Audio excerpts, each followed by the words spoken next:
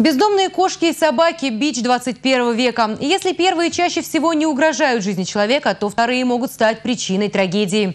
Осенью прошлого года стая бродячих собак напала на чебоксарских школьников. А весной этого года одичавший пес загрыз до полусмерти десятилетнего мальчика. Чебоксарские власти, кажется, нашли решение проблемы. На Марпасадском шоссе полным ходом идет строительство пункта передержки бездомных животных.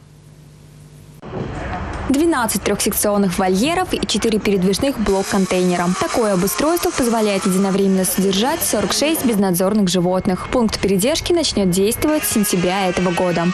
По заявкам граждан значит, будут отлавливаться безнадзорные животные, либо, либо хозяйские животные. В случае, если это хозяйское животное имеет признаки хозяйности, то есть это ошейник, шлейка, а, жетон, а, либо какая-то бирка, да, то есть э, будут передерживаться не, не менее чем 6 месяцев.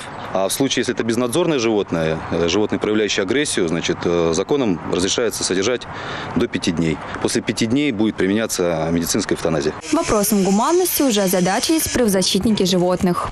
На самом деле я очень рада, что власти города Чебоксары обратили внимание на очень серьезную проблему безнадзорное животное на улицах города.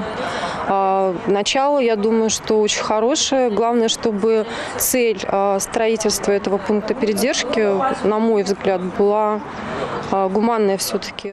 Цель зоозащитников – увеличить передержку небуйных бездомных животных хотя бы до 10 дней. В это время представители общественных организаций будут искать животным дом и хозяев. Дарина Игнатьева, Сергей Адушкин, Республика.